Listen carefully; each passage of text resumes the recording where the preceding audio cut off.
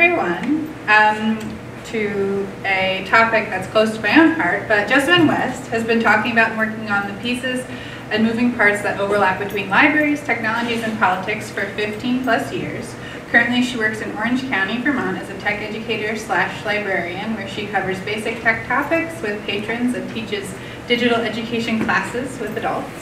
Uh, she's not working as a digital educator and librarian, she's officiating weddings. An elected justice of the peace in Randolph. Um, and she does talks and presentations like this one um, all across the country and internationally, working towards bridging the, bridging the digital divide while also pushing the discussion forward on what libraries and librarians can do to provide their patrons with the best tech education and access to digital information we can offer.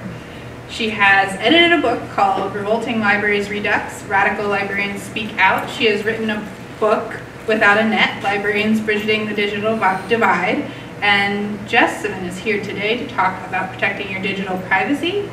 Um, one last thing is we do have webcam covers for people who have laptops or cell phones. I have one on my own laptop. Uh, I have one on mine. So if you're interested at the end and you would like, been convinced you would like a webcam cover for your laptop or cell phones, we have some to give out to everyone. And without further delay, Thank you.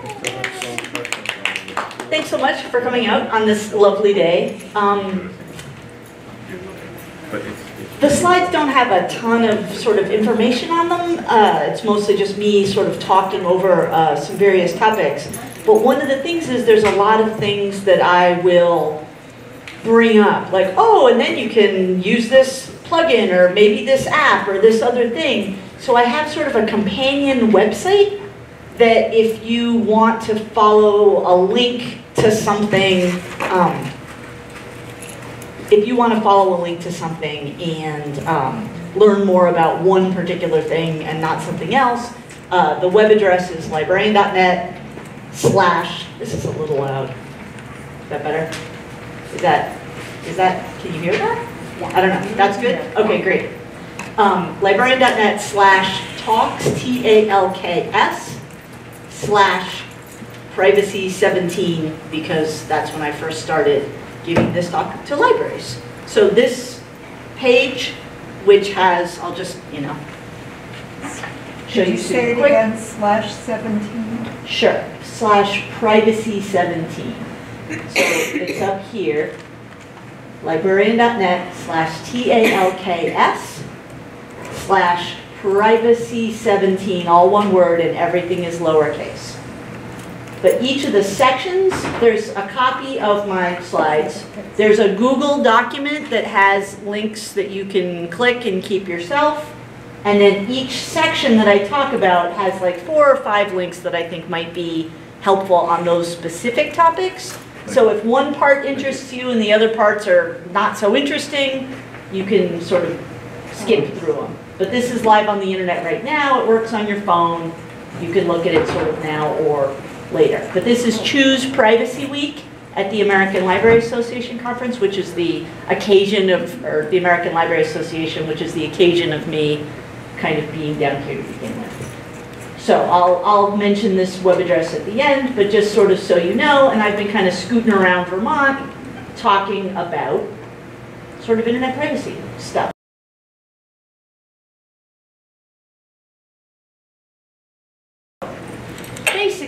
The whole sort of idea of this talk in general is people often want to know a little bit more about privacy than they do. People often aren't sure where they should go to learn more about privacy.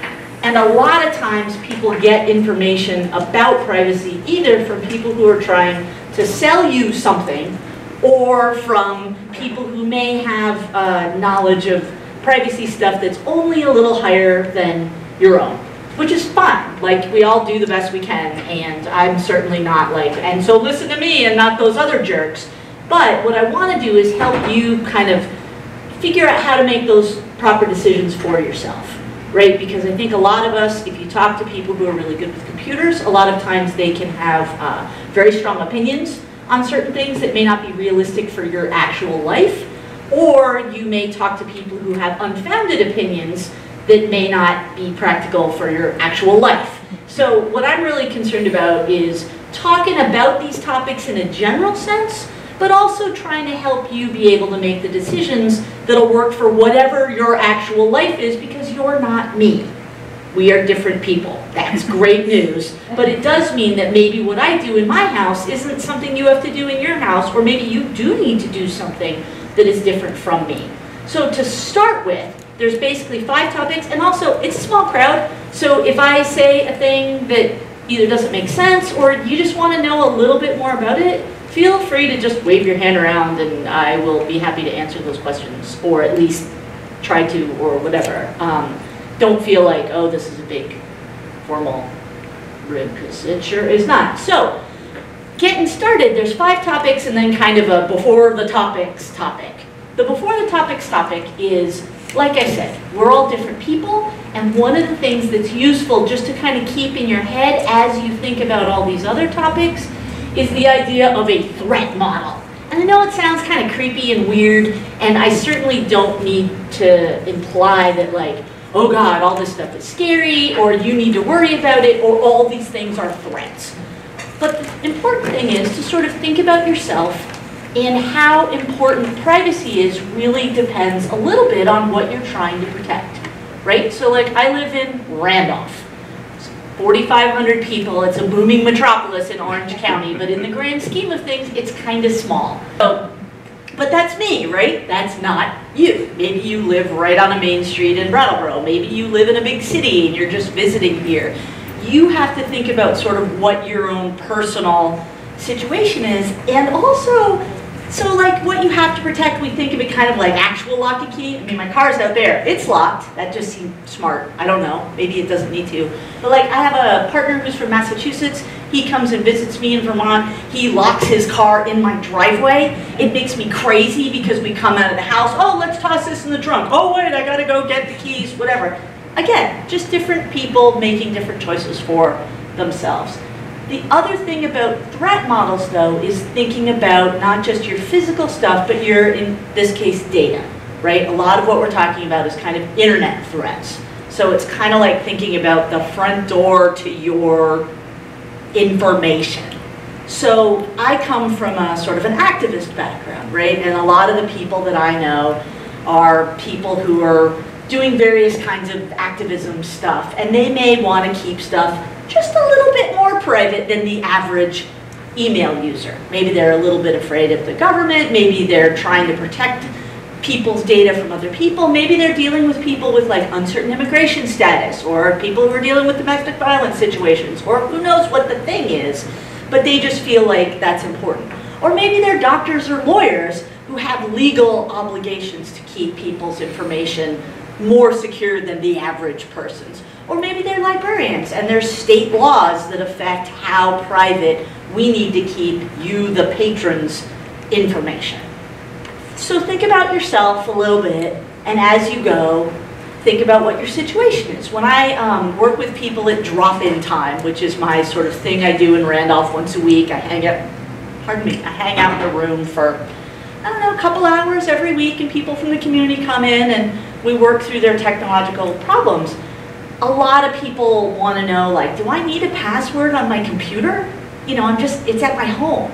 And I'm like, well, I don't know. Like, you get along with everybody you live with? Do you have a child who really wants to mess with your things? You know, do you have an impish teenager who is interested in getting under your skin for some reason? Like, I live alone. I don't have a password on my computer because that's my reality. But I encourage people to think about the stuff because I think we always hear like, you can be more secure, you can be more private, you should have more passwords to protect for more things. And while I do think that understanding what a more private situation would look like has utility, so you can kind of figure out where you fall along the bell curve, that doesn't mean you have to implement every single better privacy idea for yourself. In fact, a lot of times people who come into drop-in time, they've got a password on their computer or an Apple ID on their phone. I find that happens a lot, like a nice family member set it up for them, and then we're like, great, let's update your thing, only they don't know their password, they didn't know they even had a password, and now we're just swamping dealing with passwords. And so thinking about how many of those hurdles are important for you to put up, are important to put up for someone else you may be helping, and balancing convenience versus privacy against understanding what you have to protect. And so uh, segueing nicely into the password topic, because that's kind of the first thing I like to talk about.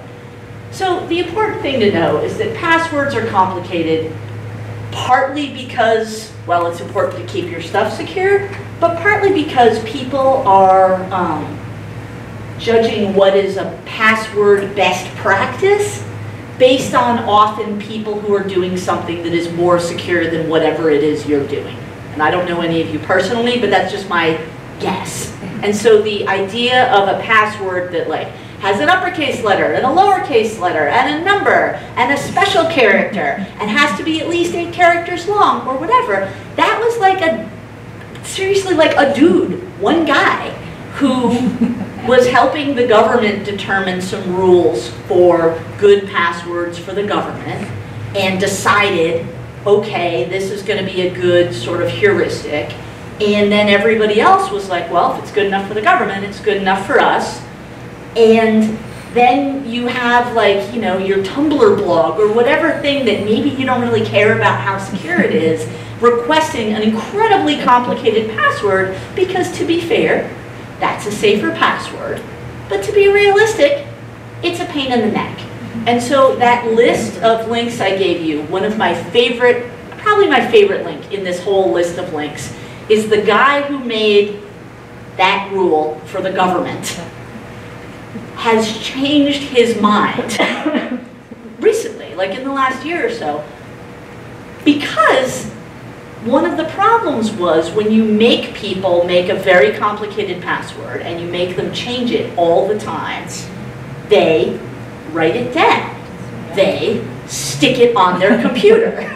they email for password resets all the time, and so you wind up with passwords that are only as secure as your email, or my favorite example of this was um, Hawaii's been having some really tough weather uh, the last like little while, but also they had that big um, sort of North Korea scare where briefly everybody at the University of Hawaii got this alert that was like, hey, there may be this like incoming, you know, uh, bomb situation from North Korea, everybody freak out. And then like 12 minutes later they got a message that was like, don't freak out.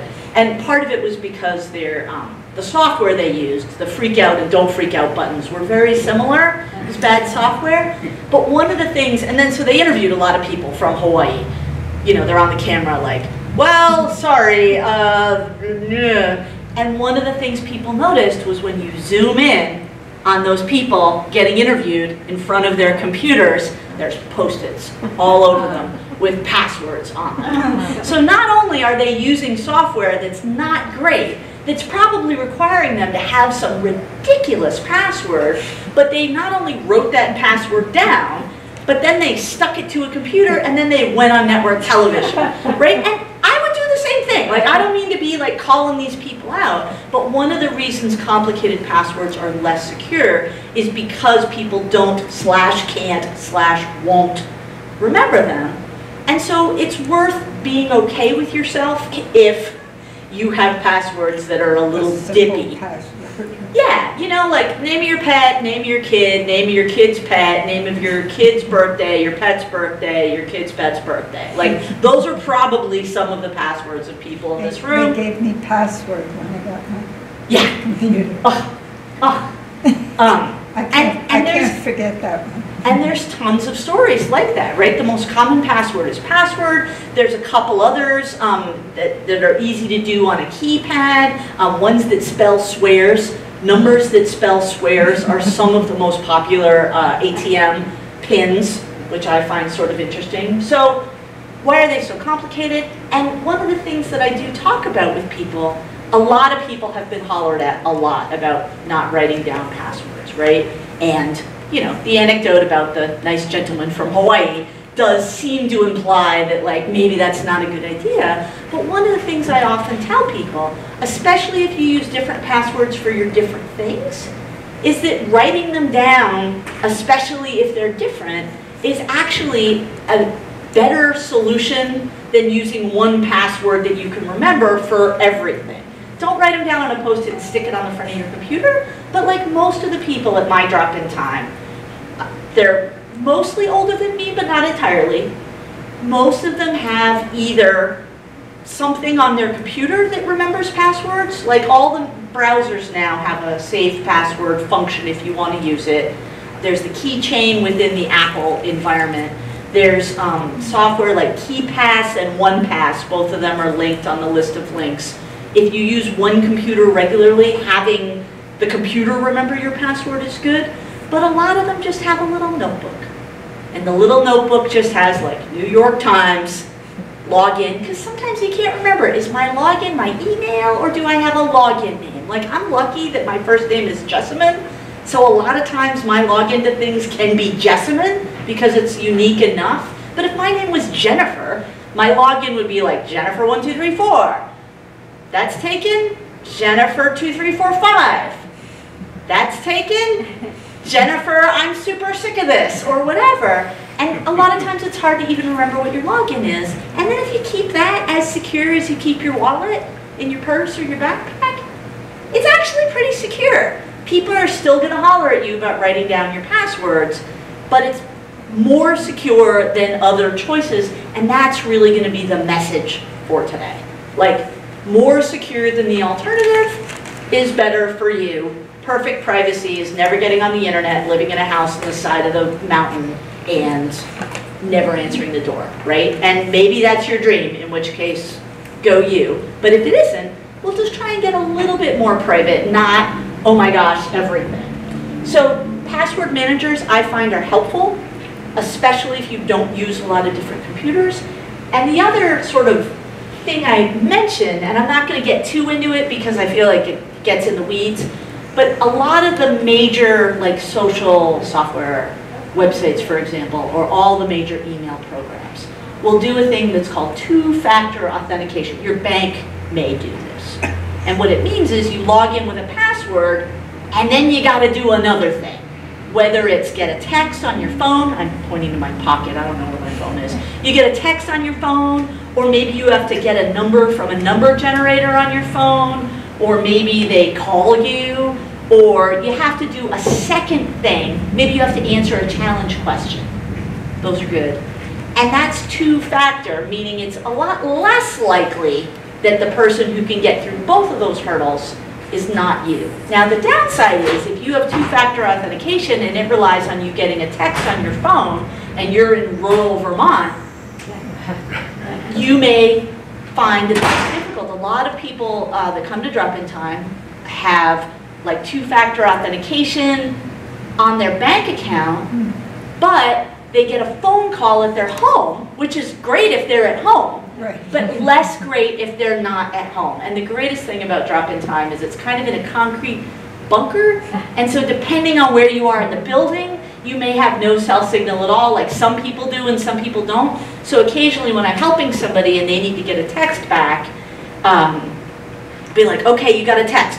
Go to the parking lot, get your text, come back, and then we'll do the next step. But if you're concerned about keeping things secure, two-factor authentication is useful with certain caveats. The other thing is a lot of those challenge questions are bad, and that's not you, that's bad questions, right? Now, I don't know about you, but like when somebody asks me a question like, hey, what's your favorite movie? I'm like, what, now? How about now? Like, I don't know, Black Panther I saw was pretty good, but like, when I answered the question originally for the bank, I don't know what my favorite movie is. I try to steer away from favorite movie or favorite whatever, who's your best friend? Like, that's always hard, right? like, did I say my boyfriend? Did I say my sister? Did I say my other friend? Like, I try to stick to like, you know, where did you live in third grade or something that's relevant to me. But don't feel weird if you look at a lot of those questions and think, these are stupid, I thought my bank was smart. Because a lot of times all they're really doing is taking software off the shelf to do this kind of stuff. So highly recommend two-factor authentication. Practice with it a little bit though. When you're somewhere secure so that you know how it works because it's real bad to get like locked out of your email because you thought you could get a text on your phone and then it turns out you don't have service at the place you were trying to go. But that's what two-factor authentication means, basically a secondary challenge. It's definitely more secure. It also means if for some reason somebody has your password, they don't have access to your things. This is why the bank more and more requires it and this is why a lot of social software especially encourages it because they want you to be able to mess around with your things, but they don't want to spend all their time dealing with arguments with people saying, I was hacked. I mean, you still see people doing it. There was a very kind of prominent um, newscaster recently who somebody found something on her blog from eight years ago that was like, you said something crummy eight years ago, which the world we live in. And she was like, I was hacked. And other people are like, no, you weren't. Like that, but at any rate, you don't want to be those people. So this is a thing you can do. And so thinking about easier to remember passwords, I'm going to try and use this. Yes. I've literally never used a laser pointer before in my life. This is a very exciting day for me. So this is a comic strip, which is also linked on the list of links. It's a comic strip for nerds. So it's called XKCD. I don't even remember why. But basically, they like to talk about tech issues. And so this long, dumb password has you know, all the stuff you're supposed to have, right? It's a word that's complicated, and then you put like letters for numbers, like a three for an E or a zero for an O, whatever. And so then this explains, it's sort of hand-wavy math. A computer could guess that in about three days if it was guessing a guess every, you know, a thousand guesses a second. So it's easy to guess in computer terms. Don't worry about it if this is a password of yours, but. and then how hard is it for you to remember? It's hard. It stinks. You can't remember it. It's irritating. Was that a three for an E or an O for a zero? I have no idea. But if you take four words and just put them together, because a computer is just a calculator, right? Your human eyeballs can look at these and say those are four words of English. A computer can't splice that into words of English as easy as your eyes can. And it's actually super complicated for a computer to guess, and it's actually a lot easier for you to remember. Now, part of the problem is a website may not let you use correct horse battery staple, but if it does, it's actually a better password. So if you're protecting something like on your computer where it doesn't require you to have a special kind of password or whatever, something like that is easier. And of course, the joke is 20 years, everybody uses passwords that are super hard for human beings and super easy for computers to guess. Ugh, ridiculous. Whoops. So, passwords, that's my sort of general thing. If you have questions about passwords now or afterwards, feel free to ask. The next thing when you think about how to be a little bit more private is think about when you're using the internet, how much can other people sort of see of what you're doing. So one of the things that's worth a mention is every major internet browser, so that's Safari, Firefox, Chrome, Internet Explorer slash Edge, depending on what you're using, has a function, may have a slightly different name, but it's called private browsing. So, as it is right now, if I sit down at a computer and I open it up, and let's say I'm using the library's internet, and I, you know, go to my email and then I go to some other page. The, um, the computer that is providing the internet service can have, kind of knows where I've been, a little bit. It's a, a little hand waving because no one wants to get super deep in the weeds here. But you can see kind of where, if I hit the library's website, theoretically, the library could know what page I was on before the library's website. It's called a referrer link. This helps the library, or whoever's internet page it is, kind of know where people are coming from, what links they're clicking, that kind of stuff. This is a normal way the internet works. That said, maybe that's not something you want. Or maybe you want to not have the places that you've been to on a computer that you're sitting at have any record at all on a machine. So you've all like sat down at your computer and been like, what was that page I was reading on the New York Times like six days ago? And you're like, I don't remember, it had something to do with turtles. And you type turtles up in the sort of address bar, and then there comes the article because your computer keeps track of where you've been. Now, this is helpful for you personally, probably, if you want to look something up. It also is leaving a little track of where you've been on the computer you're on. Now, with the library computers, you guys can tell me, when somebody like gets up from a library computer, does it sort of reset and start over? Yes. Yeah, so the good news is, people at this library know what they are doing. Nice work. And so as a result, you step up from the computer and somebody else sits down and it starts a whole new session and all the places that you've been go away. But if you're sharing a computer at home, if you're using a friend's computer, if you're using a public computer in a library maybe who doesn't quite know as much what they're doing, like you may sit down and type in, you know, mail.yahoo.com or Gmail, and somebody else's email comes up if maybe they haven't logged themselves out, or maybe they haven't, you know, maybe this sort of session didn't change over. And so you can use private browsing to make sure the computer isn't keeping track of where you've been. Very helpful. The one thing that I will mention about private browsing though is it will also, any customization, like, you know, my eyesight isn't what it used to be. So when I sometimes go to websites that let me make the typeface a little bigger, I do. And I enjoy that very much. It's like a little bit bigger. What that website is doing is it's setting a little, what we call a cookie. Probably heard the term cookie over and over again. Like on the one hand, tantalizing. On the other hand, everyone's like, they are terrible. And most people are like, I don't know what they are. It's very confusing. So if, you know, you go to NewYorkTimes.com and you say, I really want the typeface to be a little bit bigger, the New York Times puts a tiny piece of, like a text, tiny text file on your computer that's like, when this user comes to use the computer, make the text a little bit bigger because that's what she likes. And it's, sometimes it's on the computer, sometimes it's attached to your account, and that's a cookie, a tiny text file with a little bit of information. Private browsing keeps everything from being attached to the computer, but what that can mean is customizations, hanging onto your logins, hanging onto preferences that you've set up won't necessarily work. And if you want to figure out that article on turtles from five days ago that you read in the New York Times, tough.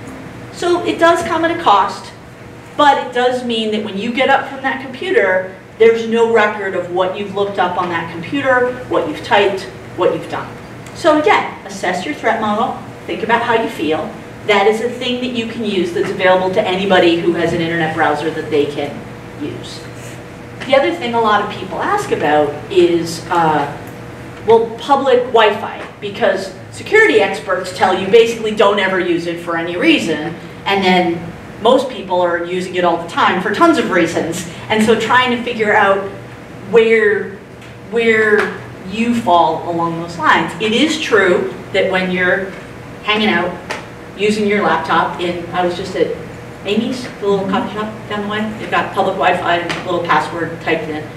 When I'm using their Wi-Fi, the stuff that I'm typing in does get transmitted through the air, um, often as just plain old text.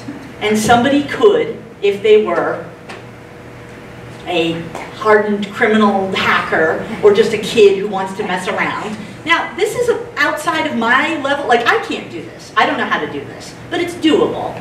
Could like, kind of, they call it sniffing, which I think is sort of weird, but like, they could technically capture that traffic that's going through the air and know some things. Now, we'll talk a little bit about how some of that traffic is going to be encrypted, so not that traffic, but like, you know, if I send, I don't know, some message that I type into a web form that isn't like a bank or a doctor or whatever, could just go through the air.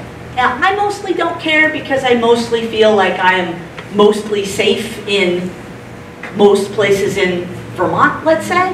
But if I was using some random internet, some random coffee shop in some random giant city, I might think a little bit about how much I wanted to send over a public wireless network. Or airports.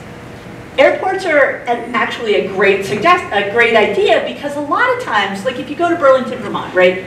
You open up your laptop, there's like BTV free Wi-Fi, but depending, sometimes there's other wireless networks that have very similar sounding names, and you're not 100% sure which one is the actual airport one, especially because it's changed a couple times.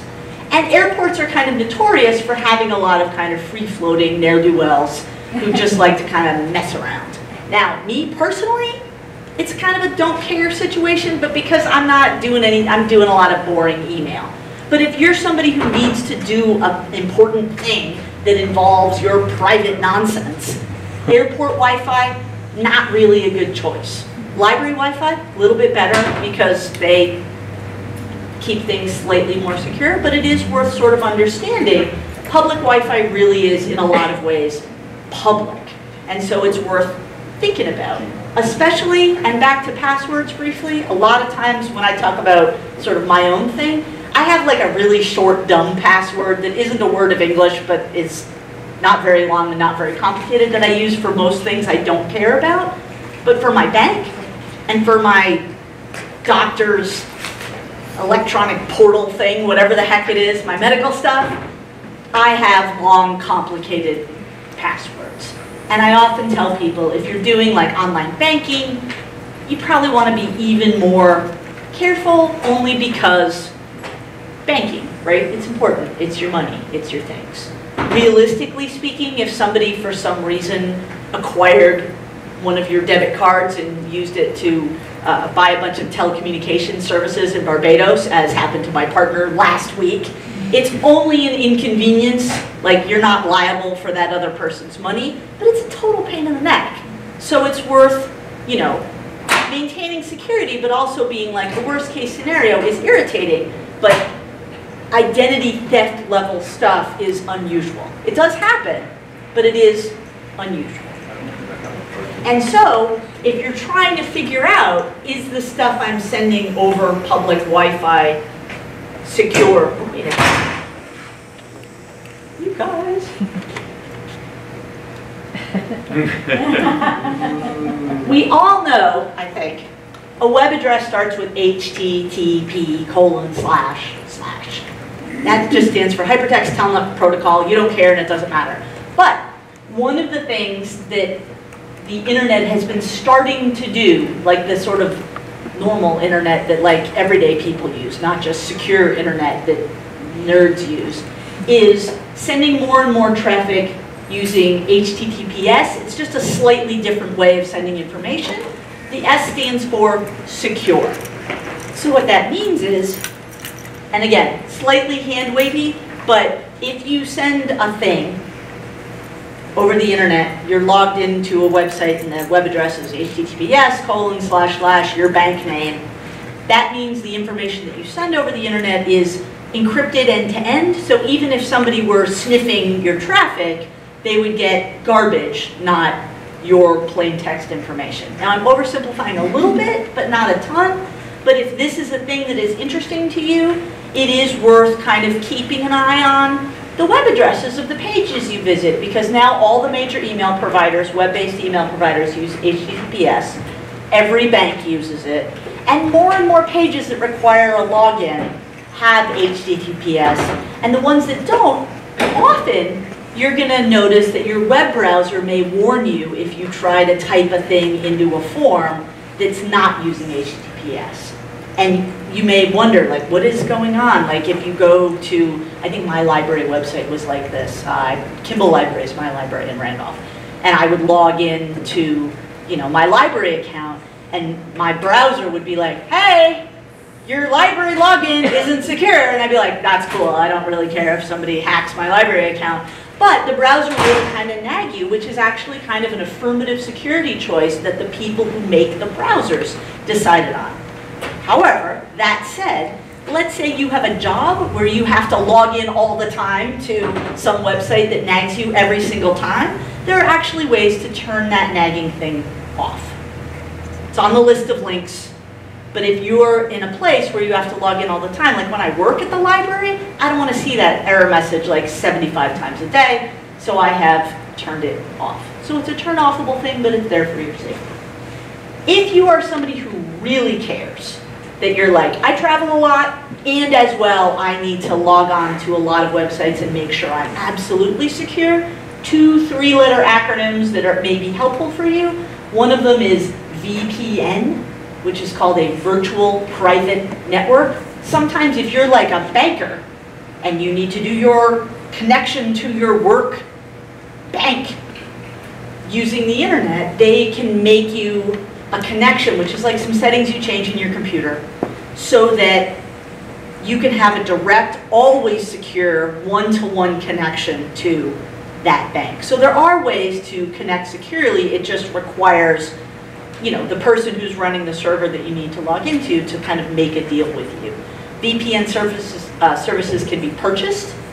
Um, it's a little kind of 200 level, 300 level privacy, so don't think about it too much for yourself, but if somebody says like, oh, I got a VPN, you can be like, oh, you connect securely to this other place. Or, let's say you really like to watch BBC television shows and they are free at bbc.gov.com or whatever the BBC is, but you try to see them from home and they say, hey, you don't live in the UK, so you don't get to watch these things. If you wanted to pretend that you lived in the United Kingdom, you could technically get a VPN. This is like a service you would pay for, where you could directly connect to a computer in the UK and it would make it seem like you lived in the United Kingdom. People from Canada have this problem a lot because they want to watch Comedy Central content on the internet and they can't because they live in Canada and geographic borders are super weird when dealing with the internet, but sometimes you might know somebody who's like, oh yeah, I've got a VPN so I can watch soccer, and you're like, this makes no sense to me. I thought it was for bankers, but it's also for enthusiasts of television in other countries. Jessamyn, isn't another disadvantage for VPNs is that certain websites will, will like for instance, uh, I think Netflix gets a little funky on VPNs. Oh, is that true? And Well, I yeah, mean- Hulu doesn't allow you to watch a VPN anymore. So. Well, and you know why Hulu doesn't do that? For exactly this reason. Yeah, there's two big downsides to VPN, is streaming services a lot of times because of how the packets are sent, um, can either refuse or not work well, and it's a little slower because it's sending every packet securely, not just your password and your login. So certain things don't work well at all. I, I use ExpressVPN, and not only was it like completely user friendly, um, like I just click a button literally, um, it, it's not slower at all. Oh, perfect. Really, really fast. So they're getting a lot better. She uses ExpressVPN, which I've never, I When you used pay- one briefly I during can't the, remember, I think it was like sixty dollars for a year, because I travel a lot. Yeah. yeah. I used one called Tunnel Bear when I wanted to watch the Olympics, not this Olympics, but last Olympics, and I needed to pretend I was in some other, I think Canada, because I wanted to watch a lot of curling, and I could only watch a little curling. Um, But yeah, there, there are a couple, and it sounds complicated, and it sounds like programming, and it literally is clicking, pointing, and getting stuff set up. Most of the stuff I'm talking about is, you can do it by, if you know how to install software or click buttons, it is within your ability. None of this involves coding, I promise. And supposedly, if, if you're concerned about your privacy in terms of your internet service provider, I presume a VPN would prevent them from seeing anything you do. Yeah, because it should. Comcast gives packets, so I always use a VPN on my Com- Comcast Xfinity connection. Yeah, one of the things that's interesting, I, I noticed this happening because I was just traveling this weekend. I did a search for something in my browser, and instead of, um, or I typed a word into my browser, and uh, at home, what happens is it just searches Google for me, or DuckDuckGo is what I use. And instead, I got this web page back from Verizon, who was the internet service provider of the house that I was at, who basically set it up so that if you do a search in your browser, it'll go through Verizon's own search because they're your internet service provider and they can just change what you see on the internet. I found it super irritating. Like, I know how to turn it off, but your internet service provider can easily know what you're doing. And even though it's totally outside of the scope to start talking about net neutrality and a whole bunch of that other stuff, it is worth thinking that if you're concerned about your internet service provider for reasons, VPNs can also keep your traffic so you can use them to connect to the internet, but then you don't have to use them to be the people who serve your webpage. And they've gotten a lot faster, and a lot more user friendly. Nice, and they're a lot, yeah, because I had to like change a bunch of settings with Tunnel Bear, and No, it's, was, it's literally just click, click click go after you download the program. love it, love it. That's Good to know. expressive. Yeah. Yeah. It's on my phone too. And then the other option, so VPN is a thing you do for your own computer, and then Tor is both a kind of a, almost like a secondary internet network of computers that all connect to each other. But Tor is also the name of an internet browser that is privacy on by default. So maybe you're like private browsing, I don't know, or I'm working somewhere where I can't change the browser at all. You can put Tor on a thumb drive, and if you can access a thumb drive from a computer you're using, you can run a browser that is absolutely secure and makes use of kind of an alternative network of internet sites to send your traffic around. There's been a lot of talk in the media, I don't know, last year or two, I guess, of libraries, especially, I guess, the one in Lebanon, New Hampshire. Is there another one in Vermont, New Hampshire area? Maybe the not. only one I know around here. But like libraries who are becoming nodes on that sort of secondary network of traffic. And it's one of those things, again, a little too complicated for getting super into, but enables you to be absolutely private on the internet, which is great news if you're trying to overthrow your tyrannical government, but is also great news if you want to buy heroin on the internet. So there's like a good news, bad news situation here. And I am not your ethicist. But if you are a person who has decided you need that level of privacy, it is actually available to you. And at our library at Kimball, we just offer the Tor browser as an alternative browser you could use in addition to Firefox or Internet Explorer. It's just, I mean, can can you uh, articulate the difference between using the Tor browser and using the private browse on a, a traditional browser? Tor browser has all the same privacy settings as private browsing, but it sends traffic through its own private, it's like its own, again, a little hand wavy, but it's like it's using its own private network of traffic. Tor browser is definitely a little slower, but it is 100% secure. And, I mean, there are arguments among nerds about whether that's 100% or 100% with some government backdoor, but I'm fairly certain if you are somebody who needs to keep your stuff secure, Tor, T-O-R, and there's links to Tor information what it is, more about it, it is a good thing to think about. How does Tor differ from from DuckDuckGo? DuckDuckGo is just a search engine. So what, allows you to erase stuff yeah, DuckDuckGo doesn't keep your search history the way Google does, and it doesn't track you through the internet. We'll talk a little bit about tracking coming up, but it doesn't have any kind of network of internet infrastructure. Whereas Tor is both, and this is why it's confusing, it's a browser, but also an internet infrastructure that underlies it, which enables traffic to not touch the kind of normal internet the rest of the time. And they're both really interesting. So this is just, that's what the S looks like.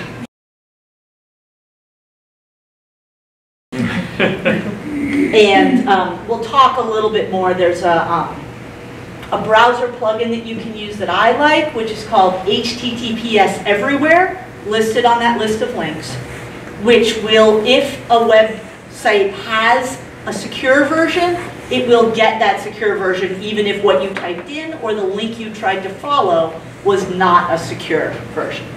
But we'll talk a little bit about browser plugins coming up.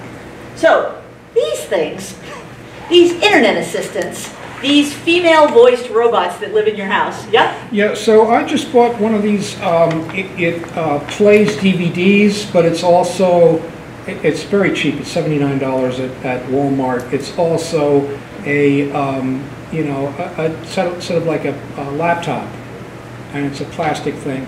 And so I'm not using the, um, I don't want to pay for Xfinity or whatever, the 30 extra bucks a month. Sure. So I'm just using it to look at DVDs. So I have it there one day, and it says, listening. What the heck? well, I don't know what that Who thing or what is listening? I don't know what that specific thing is, but here's the interesting thing about these, um, I don't know what they call them, like assistants or whatever.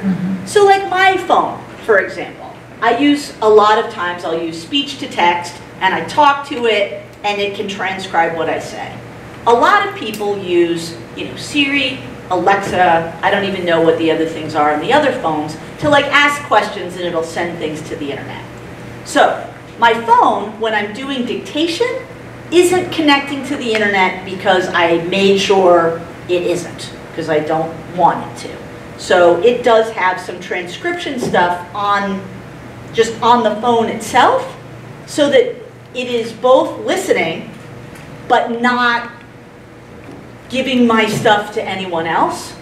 My guess is your device has some voice commands built into it, so that if, it, does it have a name? Um, it's an RCA thing, and it's, it- it's, it's, uh, it's both, you can play DVDs on it, it, it opens up like this. Yeah. Or like that, I mean. Yeah. And you can play DVDs on it, it's a plastic thing, it's about this big. And you can also use it as a computer, but I don't do that, because I, I, I don't wanna bother with the. the- Right, So, and plus I use the computer here, uh, and it's a freebie. But, so, the thing is, there are voice, but I didn't, I didn't ask for it, I didn't, and Well, there it is, a all of a sudden listening. That's a very interesting thing about consent, right? A lot of these devices that are supposed to be helping you believe that, I mean, they really literally, I believe, believe in their heart of hearts that by listening for you to activate them or request a thing or whatever, that's what you want and they are helping you. My guess is that is turn offable, again, without knowing what the thing is. Right. But the important thing, and I love, my little that, all of the like smart TV, smart microwave, smart refrigerator that tells you when it's out of eggs, really have we gotten to that point? Like I'm a little, in general, I'm very much value neutral, like use whatever you want, it's awesome. And then I'm like, really, your refrigerator needs to tell you you're out of eggs. That said, I'm out of eggs, so maybe I could have used this, right? I literally went to make latkes and it needed two eggs and I had one, and I was just like, hmm. So, the first thing to know, and I know this sounds a little bit basic, but it's really worth repeating. If your device is not online, and yours is not, because you know, because you did not pay for internet and you do not have it, although you should check to make sure it doesn't connect to your neighbor's Wi-Fi depending on where you live. If it is not online, it cannot spy on you, meaning it won't send your information somewhere else. Which is useful to know, because there are a lot of people who are like, you know, I just wanted a TV, but all the TVs are internet TVs. How do I make my internet TV not talk to other people, right? So the most important thing is making sure, if you care, and again, maybe you don't care, and that's a completely reasonable grown-up choice. Make sure it can't get on the internet. So make sure it's not connecting to your home internet. If you have home internet that's just kind of joinable, sometimes one of the things that's easy is just to put a password on your home internet so that smart devices can't join it automatically. Um, they'll request you want to do that. Um, anything that is listening for your voice, my phone, if I didn't, er, sir? Yeah, I got a question. So if you've got, I guess they call them smart TVs now that connect to your internet, to your Wi-Fi. Yeah, If you didn't want that to happen, but you still wanted to be able to use Netflix and all that on the TV, can. should you, could you get a, um, what if you got like an Amazon stick or one of those sticks that you- Google, whatever they call it? Those, like a Roku stick or a, I Yeah. think Fire Stick or whatever, yeah. those things connect to the internet as part of their They thing. can't hear you. But they can't listen to you, and so that's useful, Depending on the model. depending on the model. Right, Yeah, right. I mean, If because you I- get- if the you get a new- model that doesn't have any microphone, and you disconnect the TV from it, at least from that end, you're disconnecting that. Of course, Yeah, And the and- new A lot of other Roku things in has your voice house that commands could be by doing. default. yeah, a lot of the things that have voice commands, the voice commands are turned on, but are also turn offable. So like, for instance, my phone, if I didn't tell it not to, I could like say, hey Siri, and I have it turned off, otherwise you hear my phone in my bag being like, boop, you know, hi. And it listens for you to say, hey Siri, which means it listens for you to say anything to then determine if you're saying Hey Siri or not. And theoretically, if you listen to Apple, it's only listening kind of in a loop and it throws away the stuff that isn't Hey Siri as soon as it finds out you're not trying to get its attention. If you are privacy conscious, you might not believe them. And that wouldn't necessarily be a bad choice. Like, I trust Apple in general. I don't know if I trust them in specific. And I don't like the idea that my device could start listening to me by, or people that come into my house, right? Like, maybe I like the convenience of Hey Siri, but maybe my guests did not agree to be recorded by Apple, and so I've turned it off. But I had to go in and turn it off, which irritates me. Because by default, Apple would really like it to be on. Now, a lot of this stuff, in order to figure out how it works for your specific device, it's usually a, I used to say Googleable, but now I use DuckDuckGo for most, most of my searching. So it's a DuckDuckGoable, it doesn't roll off the tongue. It's a DuckDuckGoable thing, like turn off listening for my, for my, you know, Amazon Echo, for my Amazon Dot, for my whatever the thing Android is. phone. Android phone, for my iPhone, for my iPad, for my Fire Stick, for my Roku. Almost all of the ones that I know of, I think every single one that I know of, you can turn off the listening aspect unless it's literally the only thing that device does. You know, like a baby monitor. You turn off the listening aspect of a baby monitor and you have nothing. But most things you can do that. Yes? Yeah, so I just wanted to mention this. So one time I turn on my phone and it's got the, uh, the video camera is pointing at me and there I am. What the is that all about? These questions are getting more and more complicated, but probably, you know, like on my phone, if I am holding my phone in my hand and it's locked, but I swipe this way, the way my phone is set up, the camera turns on. Because it's supposed to be convenient for me to be like, oh, look, a moose, you know. Very important, right? But maybe that's not, and if I have, and if I, if I happen to be holding it and I touch my finger in the corner, which is where the camera flip thing is, suddenly I am looking at a picture of myself, which I rarely want to be doing in, you know, in that instance. So probably it's an odd series of things, but it is worth knowing. And on the iPhone and on the Android phone, you can go into your settings and see what things have permission to use your camera and to use your microphone. Because like, for instance, if you use Skype on your phone, you have to tell it, it's okay to use the microphone, it's okay to use the camera, but once you tell it it's okay, it just keeps it being okay. You may have to go in and turn that off.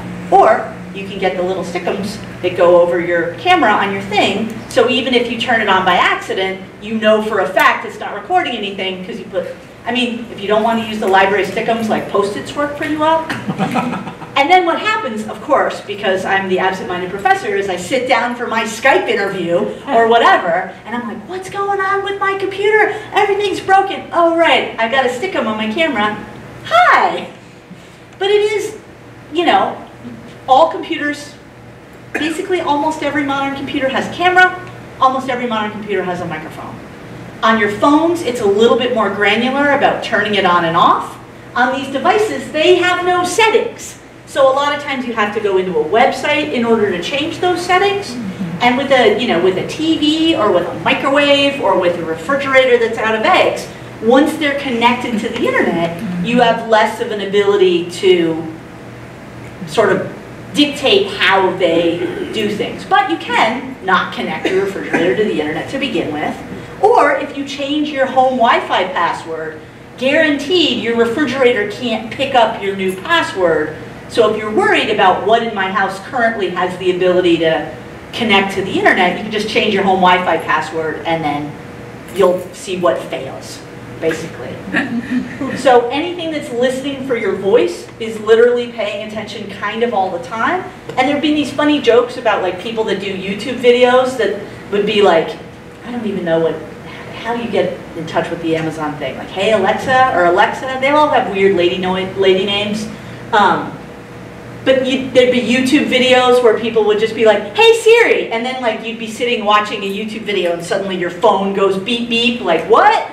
because they're not that smart, actually. The word smart has really been stretched to turn into just some nonsense, right? Because they don't even know it's you for the most part. They just answer anybody that says the secret passwords, the, the special words, or whatever the thing is.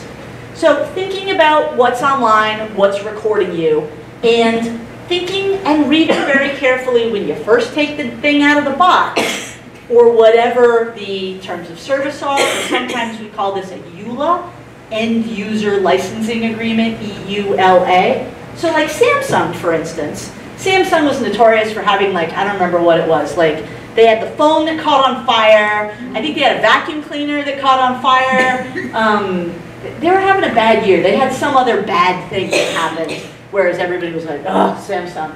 But one of the things that's interesting is if you read their terms of service, and I don't have a Samsung anything, so I kind of pulled this off the internet. But one of the things that's interesting, one of the things that's interesting is it's not just that your TV's listening to you, but your TV, again, is kind of a dumb robot. It sends your voice away to be processed somewhere else at some not Samsung company. Like maybe you're like, well, Samsung's a good brand and I trust them and nothing's caught on fire this year, so I'm feeling pretty good about that. But you don't even know who they are sending their stuff away to. And again, I don't mean to be like, so anybody who uses a smart device is an idiot. I just mean there's third parties that are also going to get your information. And so it is worth thinking that through when you're in a room with a device that is listening or when you and your friends are discussing something. And these are turn offable. All the devices are turn offable. But it is important to understand that your information, if you're like, and then we overthrow the tyrannical government, is going somewhere else. And the other thing, which is a little bit more kind of obvious, is security cameras. You guys have security cameras here? Yeah, I think the only library that I know in Vermont that has one is Fletcher. And they just kind of have them like outside the bathrooms. I'm not even sure if they're on. I think they're mostly just to be like, please don't destroy the bathroom. Like it's everybody's bathroom. Don't. But security cameras are interesting because they don't really prevent crime. They help a little bit to make people feel safer and sometimes they help make crimes easier to solve. So like I'm like a TV cop show nerd, but I won't watch like American TV cop shows because they are violent. So I watch like British cop shows because they don't have any guns. And you know, I watch this one called Scott and Bailey, which is like these lady cops. It's, it's like as if it were a cop show, but like all the dudes were played by ladies and all the ladies were played by dudes.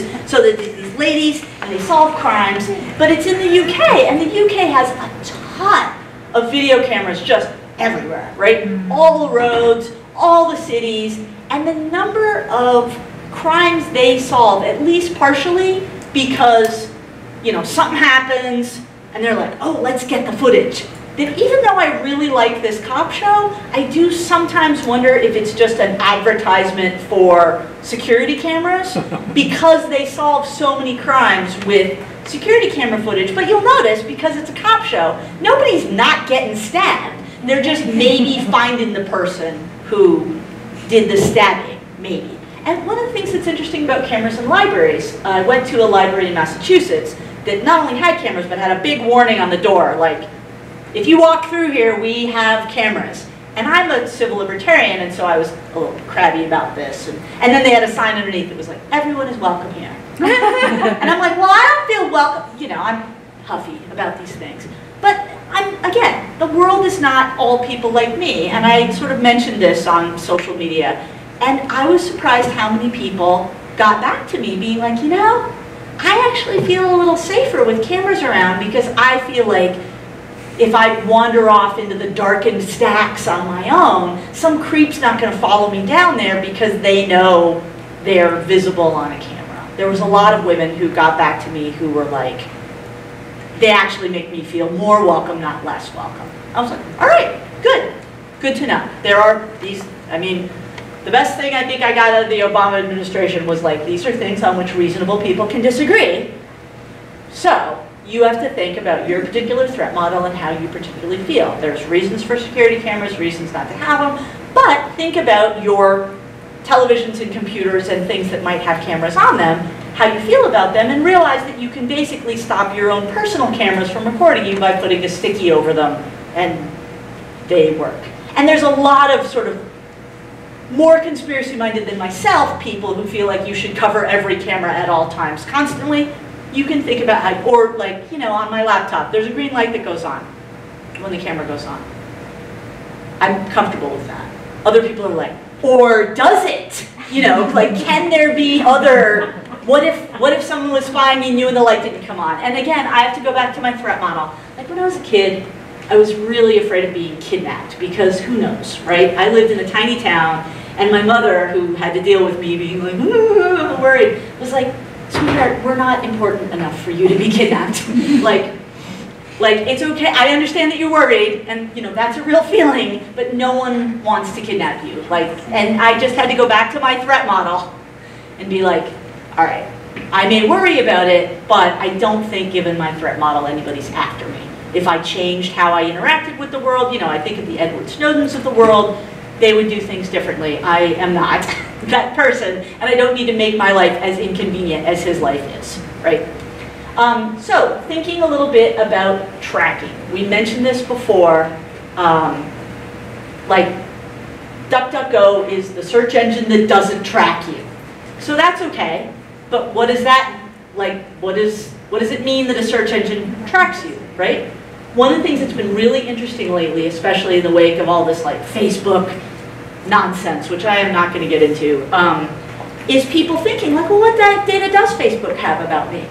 Or what data does Google have about me? And what you may not know is that both Google and Facebook allow you to get access to the data they have that you have given them affirmatively. So like every post you've made on Facebook, every like you've made, every friend relationship you've made, there is actually a way to download all your Facebook data. Don't recommend it, it'll cause a lot of soul searching about what you're doing with your life and but you can so that you can see what they have. But they also have a lot of relational information about you, like what time you're awake and what time you're asleep and what devices you use to mm. connect to Facebook. And so with Google, because Google owns many other web properties, they're a search engine, they're a mapping thing in your Android phone, they're everything, they're the operating system, they are YouTube, they are, what else does Google own that's like big? Drive. What's- Yeah, they're, they're your file storage. What's they're- that? Do they own WhatsApp now? That's Facebook. Oh, no, that's Facebook. sorry. so complicated, these toxic mega corporations. But basically, they can, because Google owns all those things, they can connect that information to itself. Google also has a thing called Google Takeout. If you're interested in what information Google has about you, you can go to Google Takeout. I'm pretty sure it's on that list of links. If not, DuckDuckGo Google Takeout, and you'll be fine. That would make a great password, right? All those words strung together, very secure you can sort of see what they know about you. I think about tracking a little bit more when I think about advertising. So I um, was using a website to like look up, um, I was looking for like luggage, right? I travel a lot, I was looking for like a good bag because I'm always shopping for a better bag than the one I have. And so I was looking for bags and I there was this one bag that I was kind of interested in. It was like some New York Jets roller bag. And it was really cheap because the Jets are not a very good team. Right? I'm sorry if they're your team. They're not very good at whatever sport they play. Football? Football? Um, but it was like a really cheap roller bag and it looked like it was going to be great. So I was like, all right, I'll think about that for later. And then I started browsing the internet like you do and who knows what's going on. And I was reading, I don't know, the Atlantic or the New York Times, something, and there was a little ad down in the corner from eBags being like, hey man, that New York Jets, what do you think? I was like, how did they know? And of course they know because eBags puts a cookie on my computer. That cookie has some individual code that links to one unique bag. And then when I go to the New York Times, they subscribe to the same advertiser that eBags uses. They can read that cookie, which is called a third-party cookie, and serve me a picture of that bag to be like, hey, dummy, you forgot to buy this. But I like that as an example because it's a pretty clear, like, it's just a tiny piece of text. Nobody's watching you or listening to you, but because eBay stored that tiny piece of text, and the New York Times and eBay both use one advertising agency, and there's only four advertising agencies on the internet, basically, and one of them is Google. Incidentally, that's their job. Like, Google's actual job is they're the biggest advertising agency on the planet.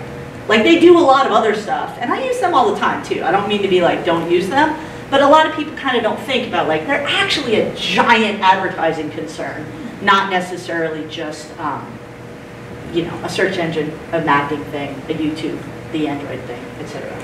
So thinking about tracking, being, tracked, you can actually use a lot of plugins for your browsers. And plugins sounds like math, and it's literally clicking.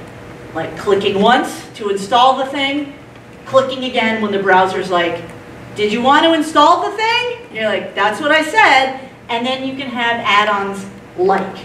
Um, these are three that I recommend. These are all listed in the list of links. HTTPS everywhere, I talked about already. It basically serves a secure website. My favorite, and it's not without its downsides, but my favorite is this one called AdBlock Pro Plus? Plus, Plus.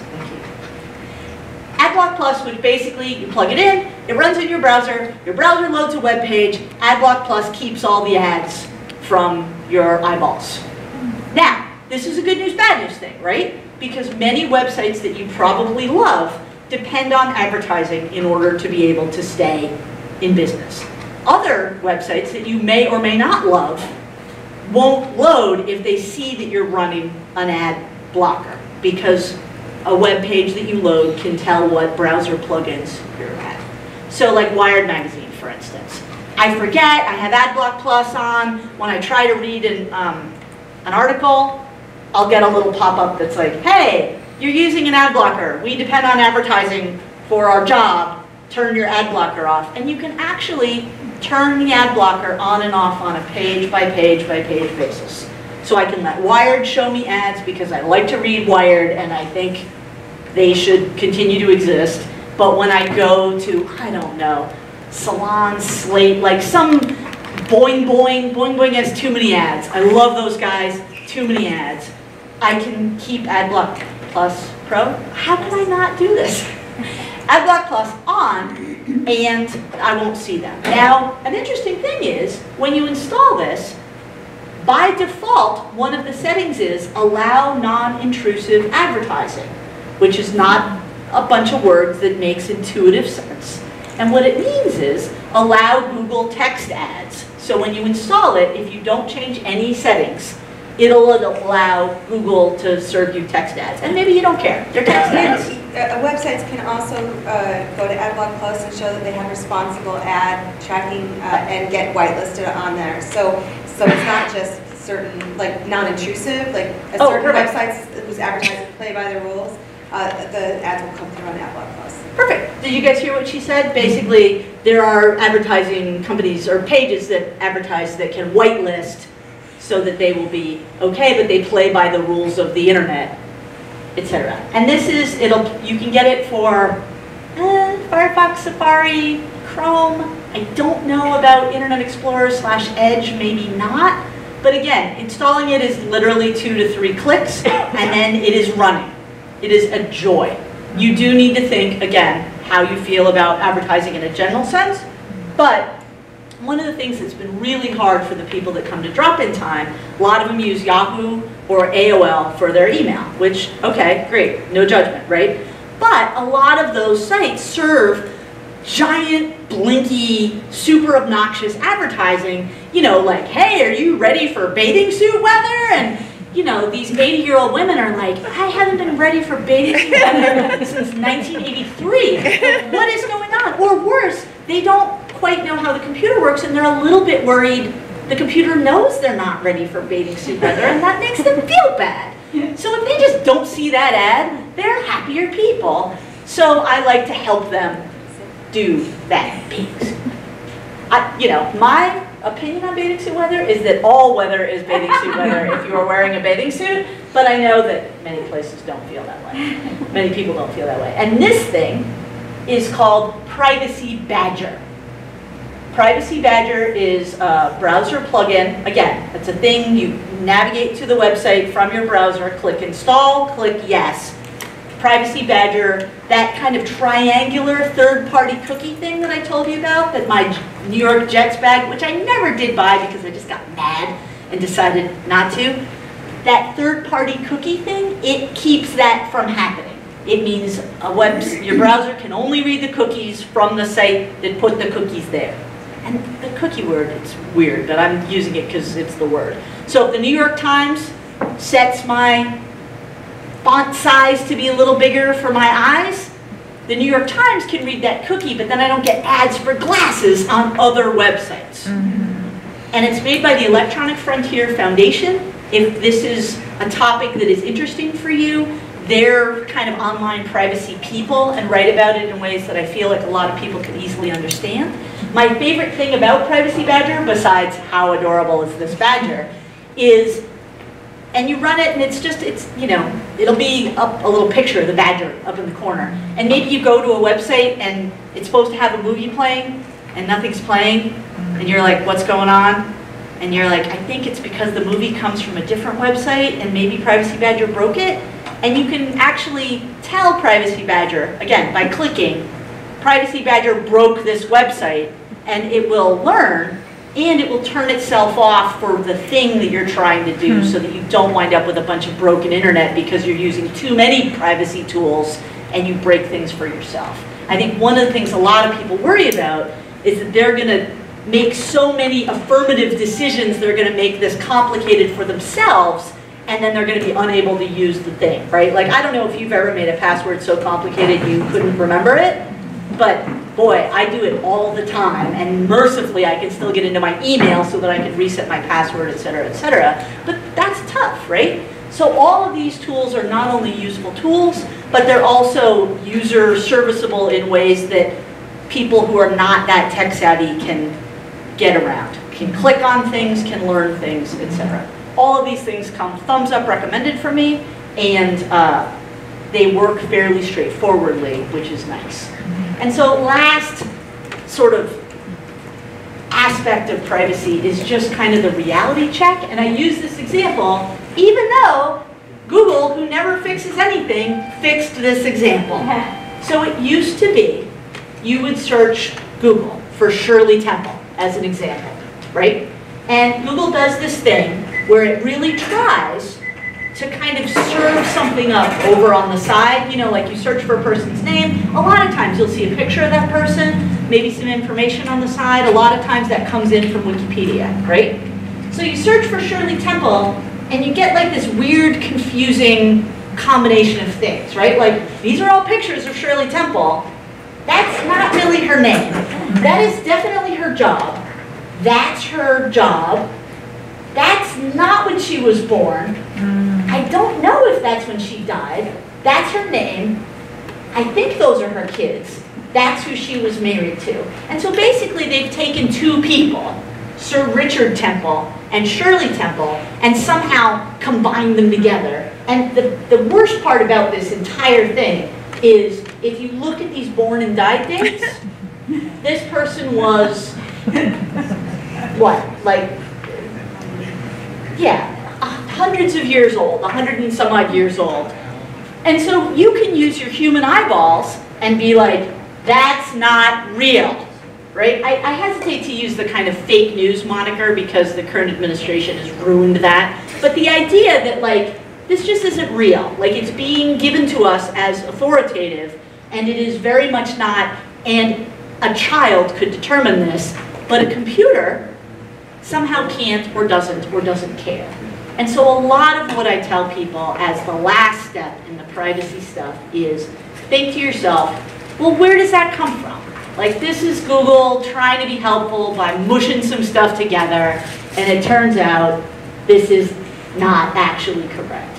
And so some of the advice that privacy people will give you, like you get some random email from somebody you haven't heard from in years and years and years, and it's just one link to a website that you've never heard of, eh, maybe not clicking on that is a good idea. Or like dropping your friend an email and be like, did you send me some random link? Because one of the things about interacting with a lot of sort of email novices is they use email in unpredictable ways, right? So maybe they did that, you can always reality check with them and make sure. This is true for a lot of different scams too, right? Like, oh, I'm stuck in France and I need, you know, a hundred bucks in order to get home. Like, she's never been on an airplane before. I bet she's not stuck in France. And so using your human eyeballs and your human brain, and maybe you call your friend. You're home? Not stuck in France? Good. I will not send you any money, etc.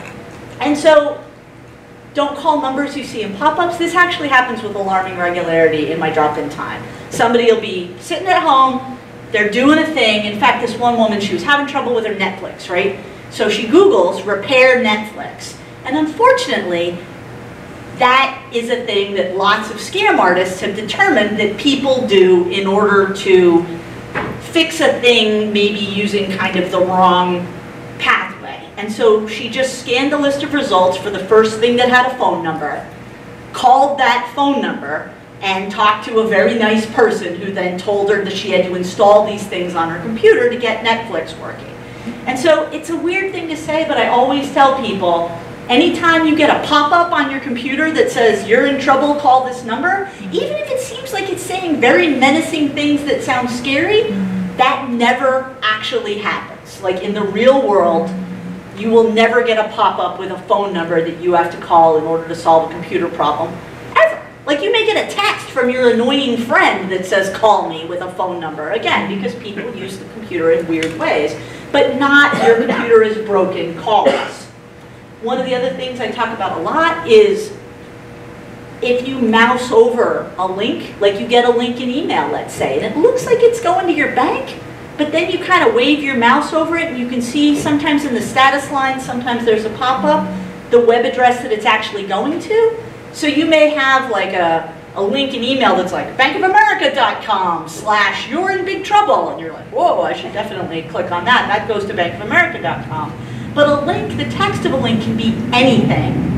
And if you hover your mouse over it, or if you're on a phone, you can kind of tap hold, and it'll show you what the actual web address is, and you can see if that's going where it's supposed to. And so figuring out how to see where a link goes, and my favorite thing about this is I used it as an example a lot, telling people, well, privacy, blah, blah, blah. And I didn't include it in this picture, but there's a link that you can click if you see something like that come up and you're like, that's actually not correct, like that's wrong. And Google did actually eventually fix it. Hmm. And then for a while there was this great thing where if you Googled the word hamster, they'd show you a picture of a guinea pig hmm. because they were scraping pictures from pets.com's small pets page hmm. and the guinea pig was the first image on the page that included hamsters and they fixed that too. So one of the things that I think is super important, and it's weird to think about, when you see something that's busted, report it. Even if it feels like it's going nowhere. And again, privacy people a lot of times are like, there's nothing you can do. I don't necessarily have that same feeling. I feel like there are things you can do. They don't always result in the results you want. They don't always result in the results quickly enough. They don't always result in sort of the outcome you were hoping for. But the only way these dumb robots learn anything is by humans with their real human eyeballs basically telling them, hey, people don't live to be 180 years old. I'm a human, I know this. And if you're interested in testing your own knowledge, there's a kind of a nice quiz online. It's 10 questions. A lot of the stuff is stuff I went over today um, by uh, Pew, who's kind of an independent uh, research think tank. But, you know, if you're sort of curious, how much do you know about cybersecurity? There's not only a little quiz, it's 10 questions, it's pretty easy, but it'll tell you how you did relative to other people. Again, it's totally fine, whatever your level of anything is, but it can actually give you an idea about whether how you're doing already is okay.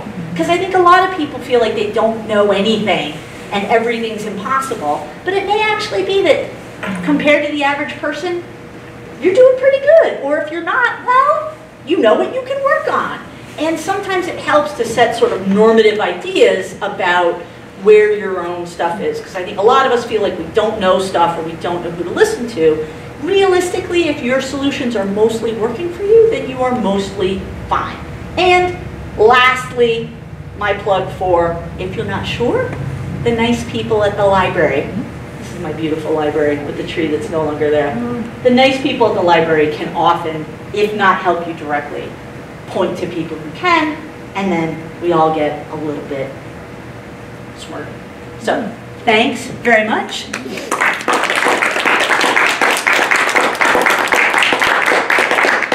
The link again, which I mentioned at the very beginning, is librarian.net slash talks, T-A-L-K-S, slash privacy 17. So a lot of the stuff that I've been talking about, there's a Google document because I still use Google because life's too short. Um, There's a Google, other page, hold on.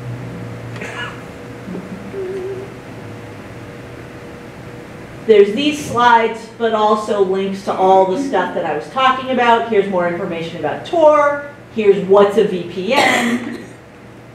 Here's how to stop your smart TV from spying on you.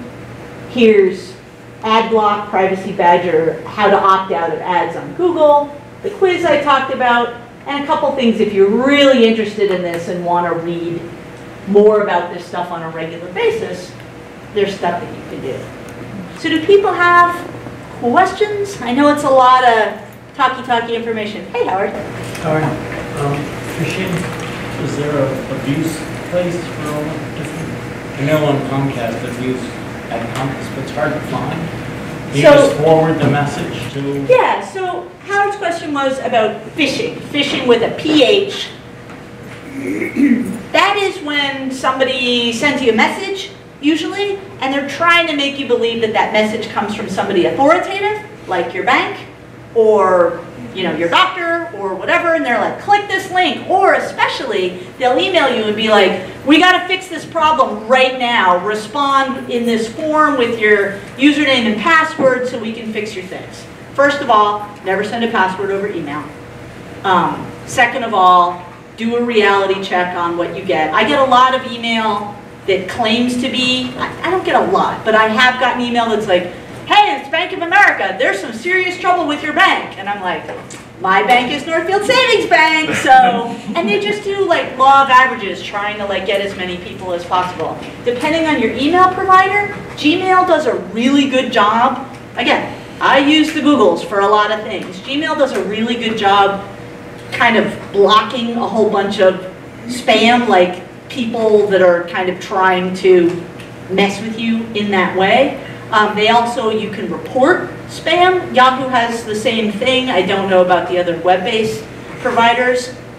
But marking something as spam not only gets it out of your inbox, but it makes the machine slowly learn in order to um, get less of that next time. One of the pieces of advice that I give people in general is that internet service providers are competent at delivering, delivering internet to your house. They're terrible, generally speaking, as email providers. Like their tools aren't very good. Um, they don't care about email. Basically, they provide it because a lot of people wouldn't really know how to necessarily get email if they weren't using their email from their internet service provider. But if you have internet service provider provided email, you might want to filter it either through something like Gmail or something like Yahoo, or there's a whole bunch of actually more private companies that are not Gmail, Yahoo, Hotmail, or AOL. They sometimes cost a little bit of money, as opposed to like Gmail, Yahoo, Hotmail, AOL, which are free. But every time you're getting a free service from the internet, at some level, you're the product that is being sold, is sort of a lot of times what we say. So sometimes I tell people filter it through a web-based uh, mail provider because they'll, they've got more effective spam filtering. But also, you know, you can report it to your um, internet service provider, but one of the problems is a lot of the people that are perpetuating phishing scams aren't even in this country, which means that the laws that affect what they're doing only sort of are actionable in the United States, if that makes sense.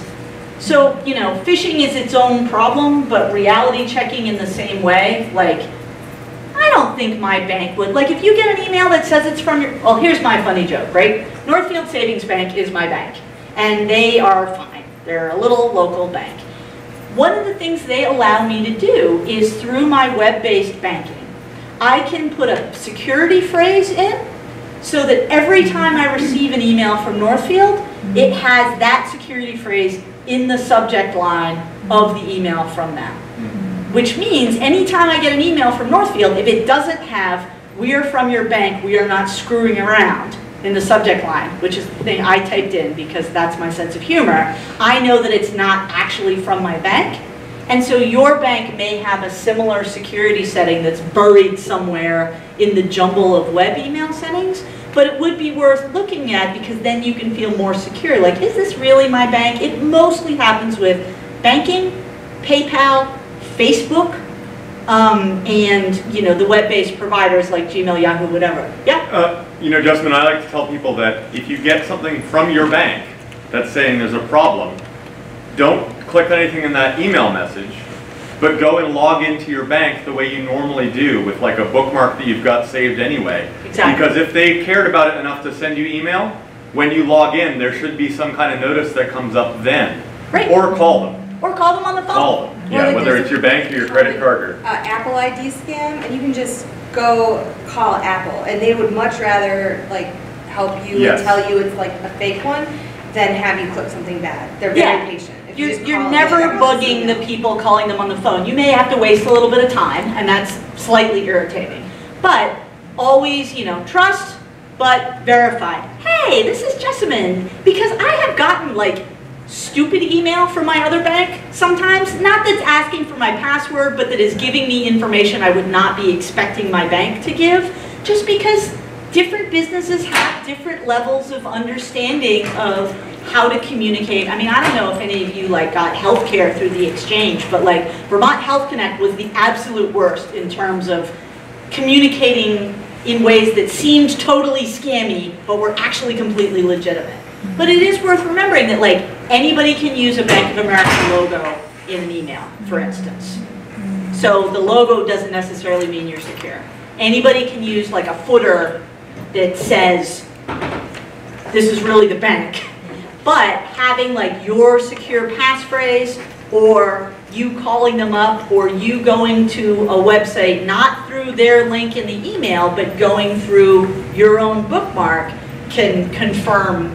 It's mostly banks, health insurance, Facebook, and sort of web-based email stuff I found.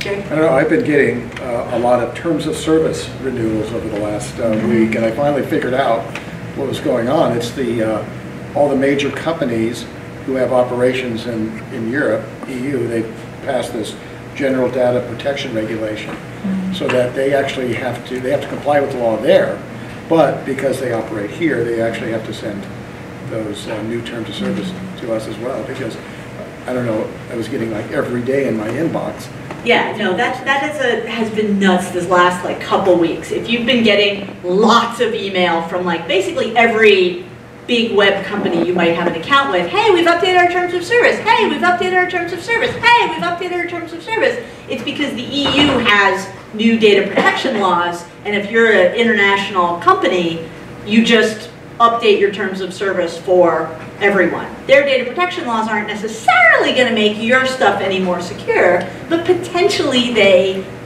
could if they just decided, ah, we'll make stuff more secure for everybody. I mean, one of the things that I find interesting in that regard is like, you know, I use I use Twitter a lot for communicating. I enjoy it. It's sort of fun to talk about. But one of the problems about Twitter is there's a lot of white nationalist jerks on there who kind of make everything noisy and you can't talk about substantive political stuff around racial issues sometimes without white nationalists being really irritating. And I was like, ah, super irritating.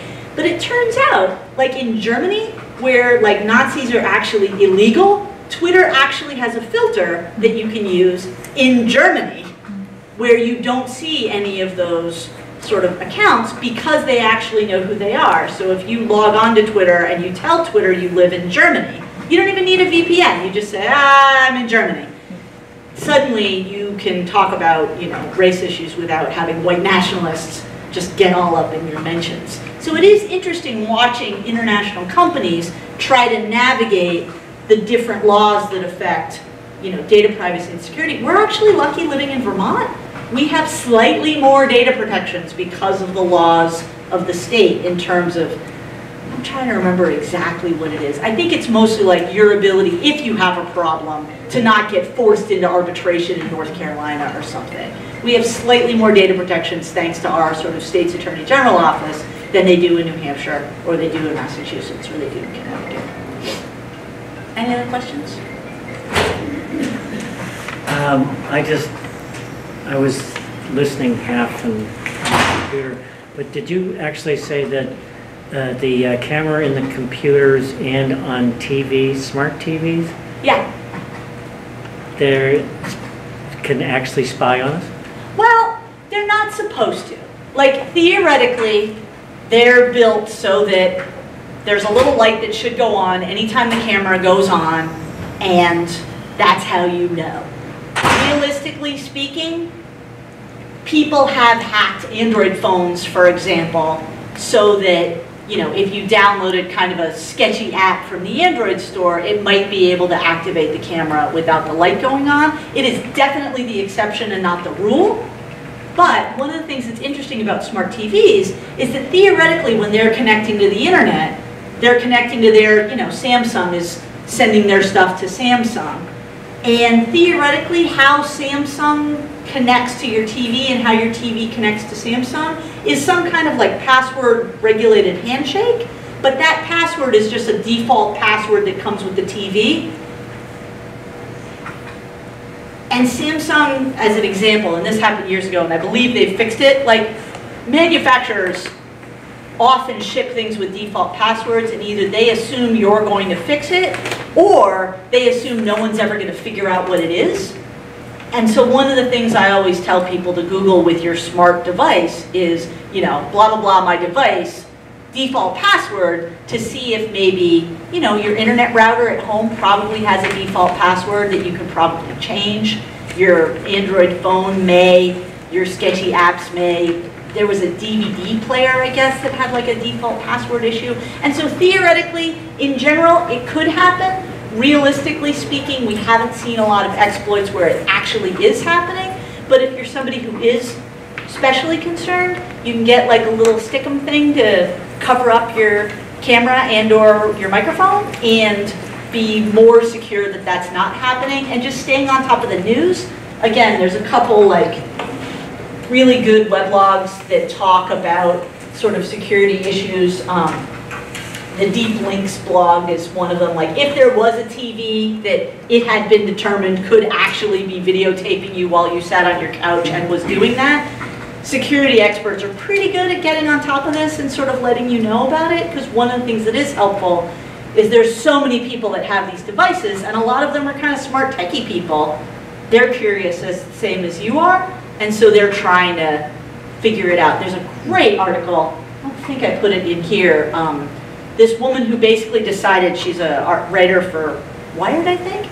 She got every smart device, and then she had a friend of hers come in and listen to her network traffic to actually figure out how much her smart devices. She got a smart bed, she got a smart microwave, she got a smart plant waterer, she got a smart whatever, to determine how much they actually were phoning home and how much data they were sending back and forth. And it's eye-opening to give you an idea of like, some of these things are sending just the minimum necessary information.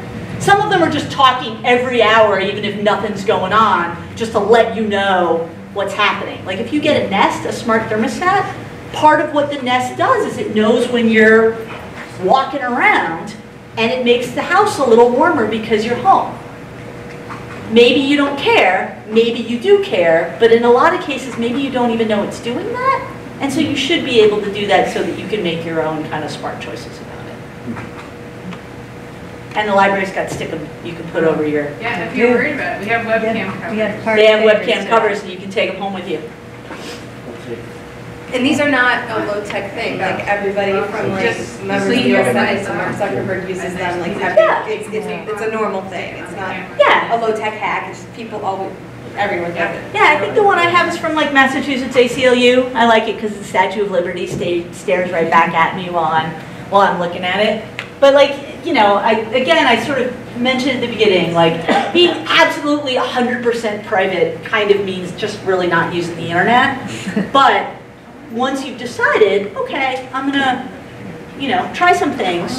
I mean, there's a lot of people, for instance, after all this Facebook, Cambridge Analytica stuff, who were like, rah, dump Facebook. And I'm like, I don't know what planet you live on, but I lose touch with 75% of my neighbors who I don't see walking around if I'm not using Facebook at all. Maybe a solution for me is to use Facebook smarter. Watch sort of what I connect to, watch what apps I've authorized, tighten up my password and maybe delete some old stuff. And that's a more practical privacy Maybe solution take it off your phone. Yeah, maybe take it off my phone. Because take it off my phone. That is actually the biggest thing I, I was waiting to see if you were gonna talk about, because one, I think one of the biggest privacy things is the Facebook app. It, it, it phones home regularly, it does all kinds of privacy invasive tracking.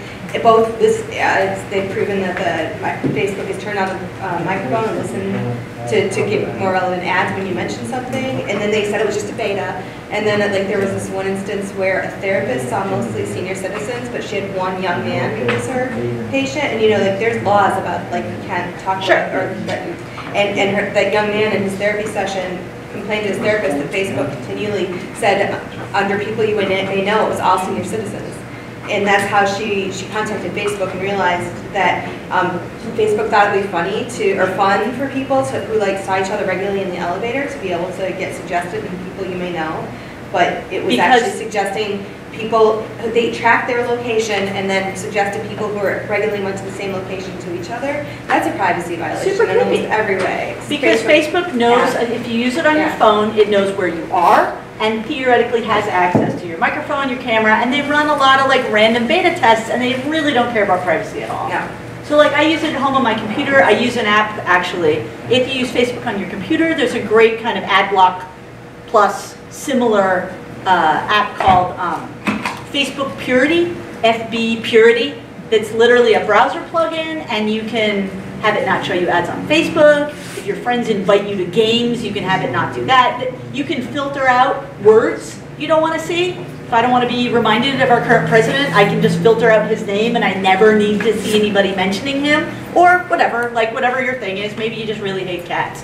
Um, you know, you can filter out, you can filter out, I think, all pictures of dogs. Like, it's crazy. But if you really would like to control your experience, but still use it, taking it off your phone, and as well, um, using browser plugins is a great way to be able to do that. Yeah. Thank you very much.